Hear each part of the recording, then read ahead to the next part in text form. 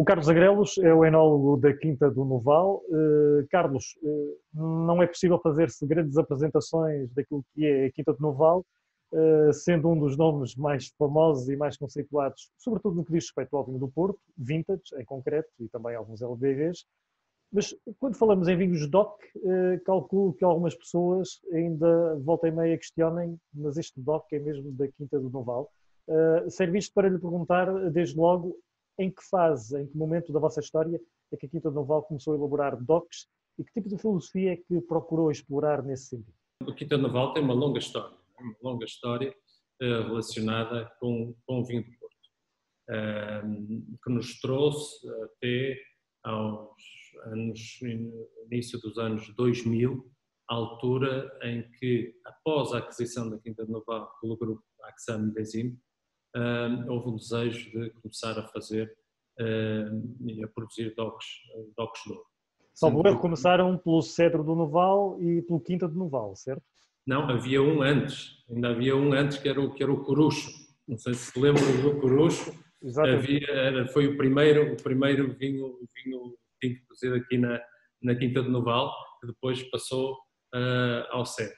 Mas eu diria que, uh, seriamente falando, o ano 2004 marca sim um arranque eh, já mais sustentado, eh, já com o lançamento do Quinta de Noval 2004. Eh, Portanto, 2004 seria o, o, ano a considerar, embora antes tivéssemos feito o Corucho e outros vinhos de ensaio e, e, e experimentação das castas para começar, para entrar mais a sério na, na gama que temos hoje em dia.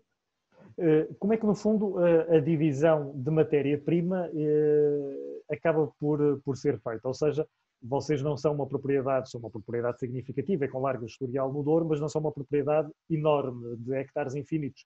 Eh, como é que, no fundo, separam a matéria-prima para o Porto e para os Douro?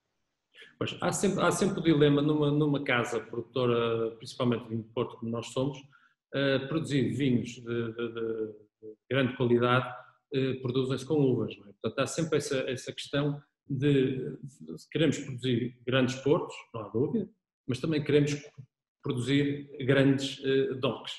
Uh, e, portanto, precisamos das uvas, há dualidade. Para onde é que elas vão? Vão para o porto, vão para, vão para os docks.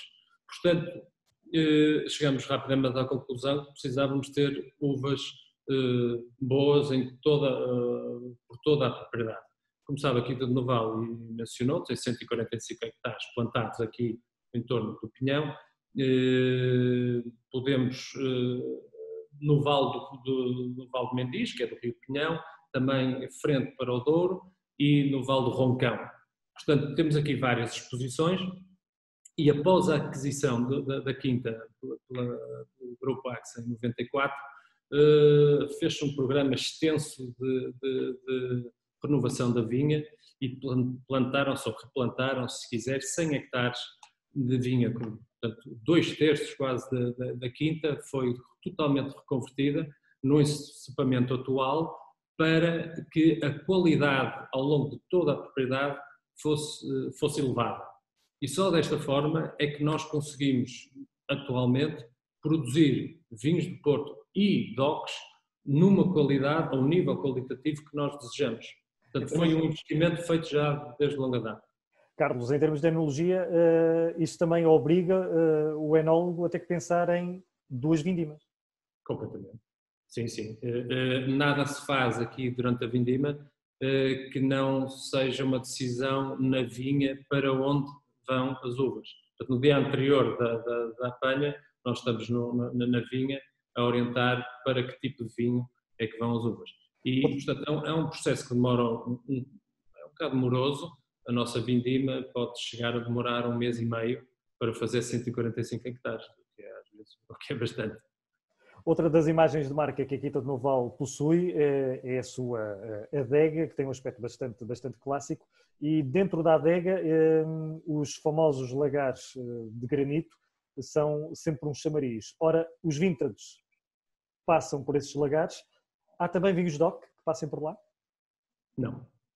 não aqui no Noval não, mas recentemente, como sabe, no ano passado comprámos a, Quinta do Passador e a Quinta do Passador, aí sim os vinhos já eram feitos dessa forma e nós os 2019 também continuamos a fazer em Pisa em Lagar para ver uh, qual o caminho a seguir ali na Quinta do Passador. Mas aqui na Quinta do, do Noval não, sempre se fizeram docs uh, do método mais tradicional. Ah, porque, porque, porque, como sabe, aqui as uvas têm, têm, têm muita matéria e, e portanto, como nós, imagina os vintage é? e os LBVs, nós temos de ter um bocado de cuidado para não subtrair também nessa fermentação de lagar. Dá produtos interessantíssimos, não há dúvida nenhuma, mas a linha atual do, do, do Noval é mais tradicional em fermentações inox. Há pouco estávamos a falar do cedro do Noval e do Quinta do Noval, que em termos de DOCs serão uma espécie de, de, referência ou de âncora. E depois há esta questão, e vamos provar uh, três desses vinhos, a questão dos monovarietais. Uh, que ainda é mais recente e que procurou uh, começar ou procura uh, explorar ainda mais o experimentalismo, Carlos. Sim, eh, deixe-me só ir atrás, quando disse, nós atualmente estamos num equilíbrio entre mais ou menos 70% de produção de vinho de Porto, 30% de, de DOCs. É mais ou menos essa, essa mais ou menos é onde estamos. Um, agora, e, e, e começamos, como, disse, em 2004. Eh, a questão coloca, em termos aqui castas que não são eh, as, as autorizadas para toque de ouro, nomeadamente uh, Syrah e Petit Verdot, é que nós achamos que o experimentalismo é, é, é, é fundamental para criar bons vinhos. Uh, há um extenso rol de, de, castas no Douro, extensíssimo, um, e, e, por onde explorar mas há umas uvas absolutamente extraordinárias, sabe, como a Nacional, por exemplo, mas há outras que não valem nada para, para fazer atualmente vinhos, vinhos de Ocdor. Então, por que não trazer castas que já conhecemos uh, de outros locais, experimentar, ver se dá. Por exemplo, nós fizemos, nós chegámos a ter uh, Cabernet Sauvignon, uh, e então estamos aqui no Noval, e fizemos uns vinhos que chegamos à conclusão que não era nada por aí o caminho, porque dava um Cabernet Sauvignon de tal maneira marcado, muito pirazinado, mas ainda por cima aquele Cabernet madurão, não tinha, quer dizer, não, era, não tinha nada a ver com a linha eh, de terroir que, o Noval quer, quer prosseguir. Portanto, reenxertamos esse, esse, esse, esse Cabernet Sauvignon em Syrah, parte, e um bocadinho mais tarde em, em Petit Verdot. O Syrah, obviamente, é uma casta plantada no mundo inteiro, uh, toda a gente conhece, uh, portanto, comercialmente, obviamente, é, é, é, um ativo para se ter num vinho, mas acima de tudo é uma casta que se comporta muito bem no Douro se tivermos cuidado. Então, se sobrematurar, acho que dá vinhos um pesados, uh, são capazes de sair da linha da, da frescura que se pretende ter, mas com cuidado na, na localização certa, é uma casta que se comporta muito bem, como acho que já, já, já provaram, eh, conserva o lado fresco, conserva o lado floral e, e, acima de tudo, extrai uma certa mineralidade do terroir de Douro que a torna muitíssimo interessante, no nosso caso. Portanto, faz sentido fazer um pequeno número de garrafas de, de Syrah, porque temos tido uh, muito sucesso com ele. Uh, agora está, estamos a provar aqui o, o, o Quinta de Noval Syrah, mas só agora é que o denominamos assim, não é? Antes, o vinho anterior a este, ou que deu origem a este, era o Labrador, eh, que foi lançado em 2007. Portanto, nós começamos a experimentar ou plantar pela primeira vez o Syrah aqui na Quinta do Vale em 2000. Depois, eh, lançámos o primeiro vinho, já eh, doriense, uh, o Cedro do Noval 2005, que já tinha Syrah. E então nesse foi o primeiro vinho que já lançamos uh, na grande linha e manteve-se até hoje. O Cedro tem, tem Syrah, Toriga Francesa e Toriga Nacional juntos e é um blend clássico daqui da Quinta do Noval. Depois iniciámos o Labrador de 2007, que agora passou a Quinta do Noval Syrah. Syrah, no entanto, temos 6% da nossa, daqui da Quinta do Vale é plantada com, com. Mas não tencionamos plantar mais. Estamos muito bem assim. Vamos começar precisamente por este vinho. Nós temos aqui três manocastas, o Syrah, o Petit Verdot e o Toriga Nacional. Uh, são três manocastas de um ano muito quente, 2000, 2017, que foi um grande ano para vinho do Porto Vintage, foi um ano de, de pouca produção, apesar de tudo. Foi um ano, por ter sido também bastante quente e bastante concentrado, foi de alguma forma um ano ainda mais desafiante para, para se conseguirem fazer bons vinhos DOC? Foi. Uh, foi, mas, mas antes fossem todos assim, porque estes anos quentes, com algum cuidado, depois conseguimos extrair quase sempre uns vinhos bons. Mas como referi atrás, no Val tem todas as exposições, norte-sul, poente nascente, portanto conseguimos, de certa forma, ir buscar as uvas à medida que elas amadurecem para o vinho que se pretende. Mas o que eu acho extraordinário nos vinhos de 17 uh, apesar do ano que foi, um ano muito quente, uh, um ano clássico, vintage. Os vintage têm todos, têm todos uma frescura associada, que, que é fantástico nestes anos, e isto também se repercute no, no, nos vinhos DOC. Quer dizer, tudo se centra no, na altura certa da vindima. Por exemplo, este cigarro, este cigarro, por exemplo, não, não, não chega a ser excessivo. É um cigarro, de alguma forma, domado. Lá está. Mas, mas, mas se nós não, não tivéssemos escolhido cinco dias, uh, uma semana depois, não dava nada disto. Ia dar, ia, ia dar um, um, vinho muito madurão, não digo mau, mas muito mais maduro, muito mais pesado. E assim não, conserva a frescura natural que, que é o que nos interessa. E extrai esta fruta toda, extrai a mineralidade do terreno, que, que, é, o, que é o que mais nos importa. Carlos, quando falamos também em Cigar, muitas vezes fazemos aqui, uh, em termos mundiais. Ah, Deixa-me só dizer uma coisa, e também é importante porque o, o é, é, um pouco precoce em relação às outras variedades.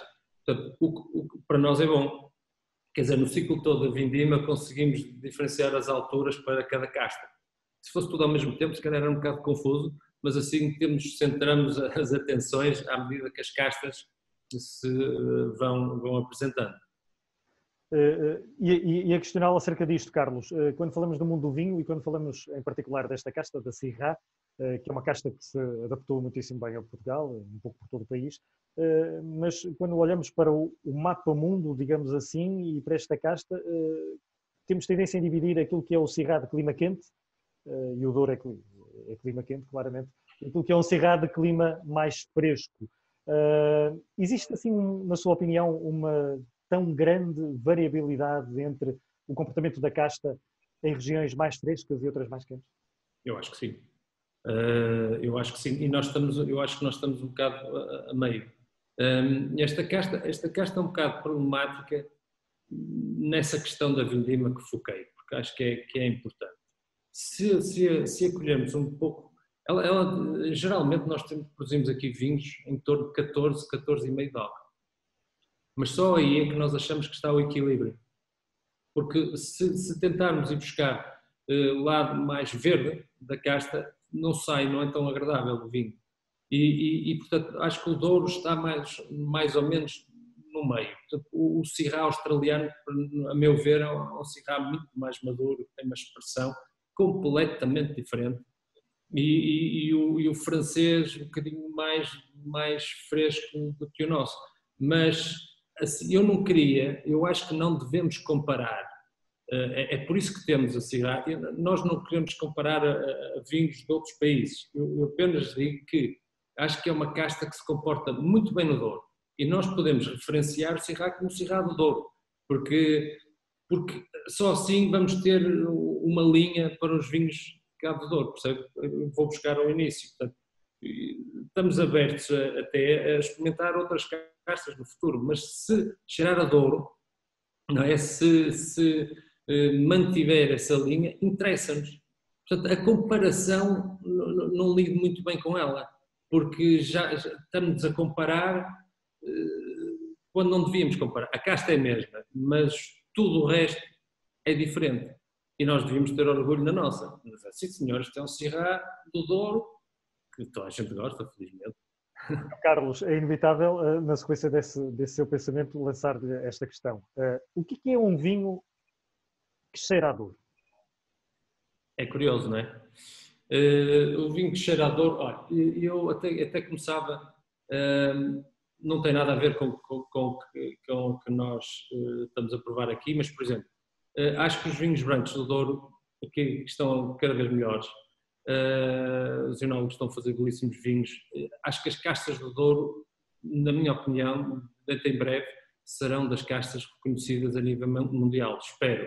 Eu acho que o Gouveia, o Viozinho e tantas outras produzem vinhos que, que, já estão ao nível mundial, só que ainda não, não conhecidos. E, e, e são Douro. Quando, quando começa bem cá a provar o veio do Douro, o vizinho do Douro, aquilo são castas uh, realmente que exprimem o Douro. Mas e, nas castas tintas, claro que o Toriga Nacional, uh, a maior parte das vezes, a Toriga Francesa, muitas vezes, uh, o Tito Roriz, nem tantas, mas são, são castas que além de uma fruta muito evidente que é característica, por exemplo, a Quinta de Noval, a, a, a, Toriga Nacional, aquela violeta, chocolate preto, tudo, que não se consegue arranjar de lado nenhum, aliado a, a esta, esta, fauna que, que nos entorna, eh, que, que, nos rodeia, desculpe, eh, que, que é muito característica da ditrícia, que é, um, é um cheiro tá, de, uma planta nas vinhas, a ditrícia viscosa, que é um cheiro incrível, a esteva eh, e, e tantas outras flores autóctones, isso entra no vinho, não é? Quando nós, e depois é por isso que nós devemos falar de terroir no Douro. O Douro tem terroir. Se há sítio no mundo que tem terroir, o Douro, e, e fala-se muito pouco disso. Um, e, e, e, a mineralidade do fundo, do, do, da xistosidade que entra nestes vinhos caracteriza e marca o Douro. Eh, nada mais marcante de um vinho de ouro do que um vintage novo. É? Quando nós provamos agora os vintage 18 que estão agora a sair, isso é Douro 100%. Quer dizer, aquela intensidade aromática que não se consegue em mais nada nenhum.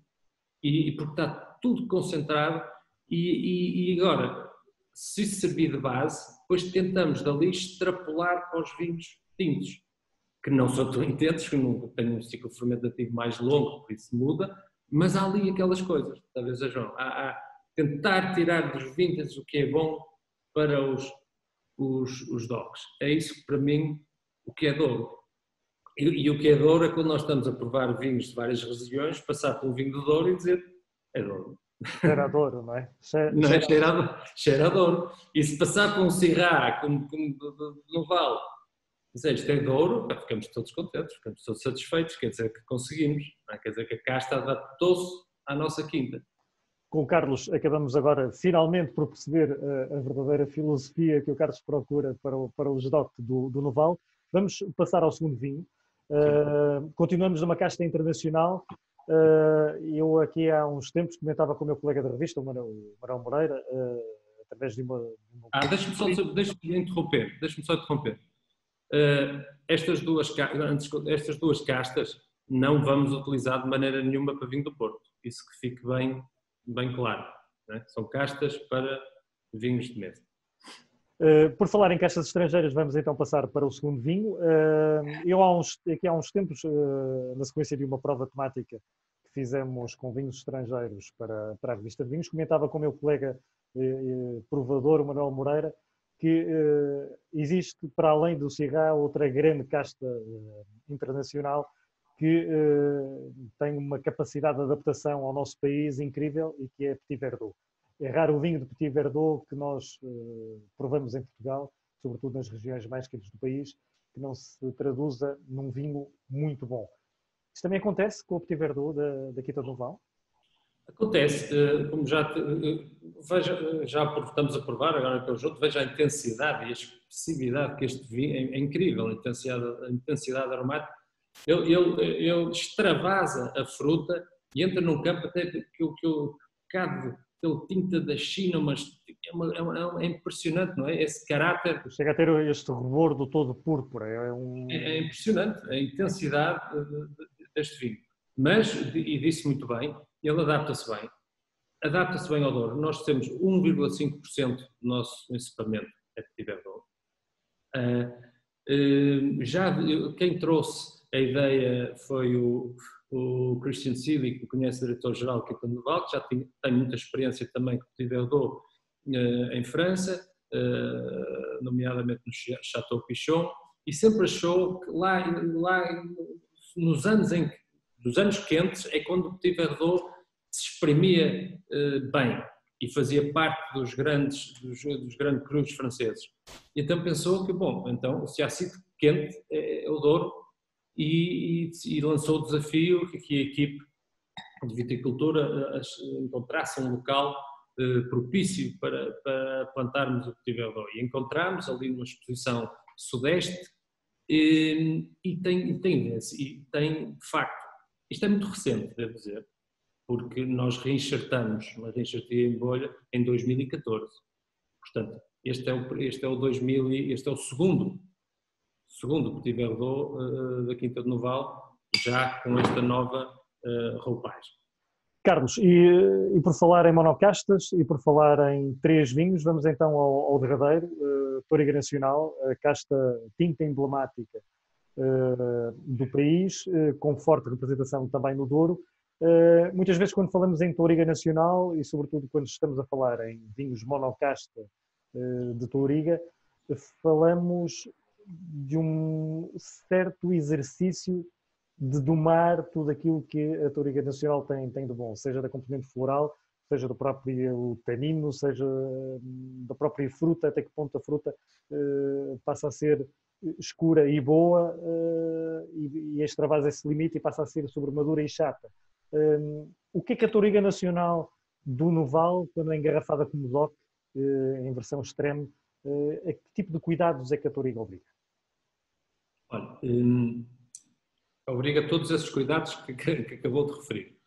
Mas eh, o que ela não poderá ser muito para fazer o bom doc, no nosso, no nosso ponto de vista, é demasiado madura no, no ponto limite.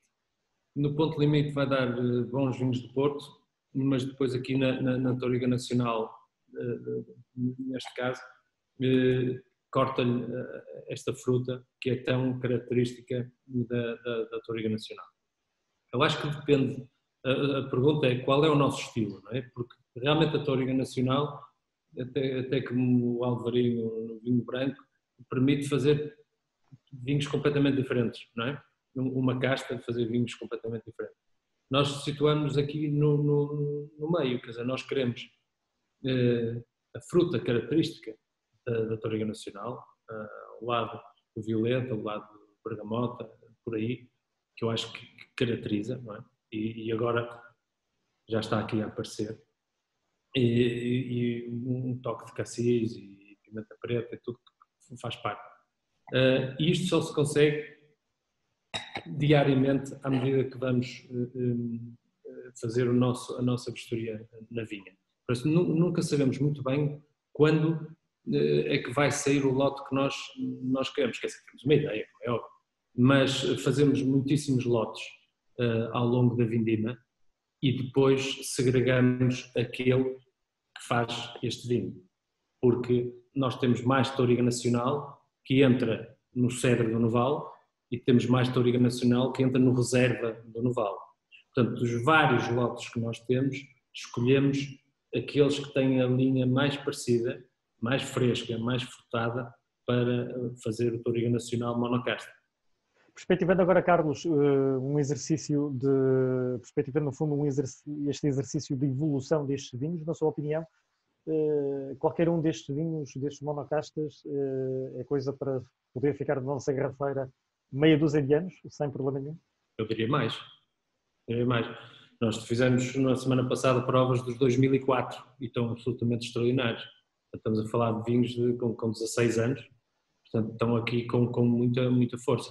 Eh, são, vinhos, são vinhos que têm, têm uh, estrutura suficiente para aguentar. Uh, são vinhos que estagiaram em, em madeira. Estes vinhos estagiam 100% em madeira, aliás, todo o estágio.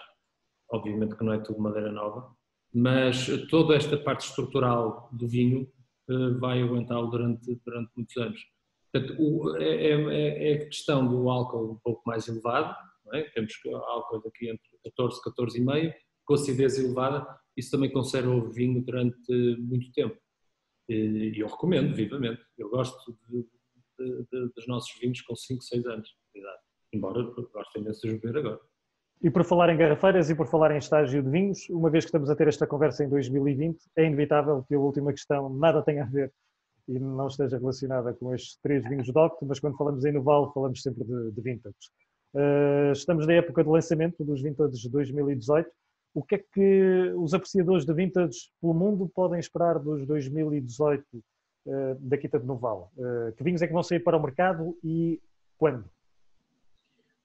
Vintage 2018. Portanto, nós, nós estamos num, num, num, percurso muitíssimo bom da Quinta de Noval. Como sabe, nós, nós uh, lançámos Vintage e declarámos Vintage desde 2011. Ainda não falhámos um ano. Portanto, uh, uh, o que é extraordinário.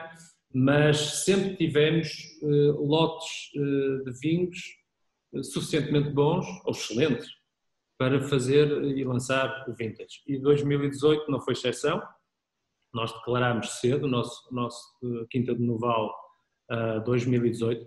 Não há um Nacional 2018, uh, uh, por questões de, de, de, do granizo que houve, infelizmente, sobre essa parcela em 2018, mas o, o, o Vintage eh, Nacional, o Vintage Noval já foi declarado e já está à venda, já estamos a distribuir para o mercado. E é muito bom, devo dizer, é muito bom. É um vinho completamente diferente do, do 17, mas uh, muitíssimo bom em termos de equilíbrio. Tem uma fruta incrível, mas uh, uh, o, o, equilíbrio geral do vinho é, é, extraordinário. Uma última questão, Carlos. para si, em termos pessoais, o que é que acaba por ser mais desafiante? Fazer um, um vinho do Porto, no Noval, ou fazer um bom vinho DOC no Noval? Eu tenho a responsabilidade de, fazer, ter que fazer os dois. Não tem alternativa. Não tenho alternativa, tenho a responsabilidade de ter que fazer os dois bem. Mas eh, são o desafio, eu diria que é idêntico, porque está tudo na vinha. Eu felizmente tenho uma grande equipa também de viticultura que, que, que, que trabalha arduamente para termos boas uvas. Sem uvas não há, não há bons vinhos, como é óbvio. Uh, e depois, como a escolha começa logo na vinha, a atenção está completamente, está, não, não está indissociada. Quer dizer, eu, eu tenho, presto tanta atenção no fazer os docks como, como o vinho de Porto. A responsabilidade é exatamente igual. Uh, queremos sempre fazer melhor, não é? E queremos sempre fazer melhor, tanto no vinho do Porto como nos docks. Portanto, se estamos contentes agora, ótimo, mas há sempre lições a tirar da, da vindima anterior. Há sempre eh, pontos a corrigir, há sempre pontos a alterar, a experimentar. Eu acho que não devemos dormir na forma e, e estar sempre a experimentar, porque, porque, senão podemos perder o comboio. Eh, eh, portanto, estamos sempre a, a querer mais e a, e a diferenciar. Eu acho que em termos de Douro, eu seria talvez a região do mundo, e é, felizmente, a que eu gostaria de trabalhar vinhos. Acho que é a região que vai ter, tem mais potencial. Tudo, tudo, toda esta questão dos docks que nós falamos está na sua infância, por mais que se queira, não é? Nós começamos em 2004, mas o advento disto tudo foi mais ou menos anos 90, final dos anos 90. É? Portanto, nós temos 30 anos de história de docks, não é nada, temos tanto para explorar que, que é a região que vai, a meu ver, no futuro apresentar mais surpresas ao mercado. Espero, espero que não me engane.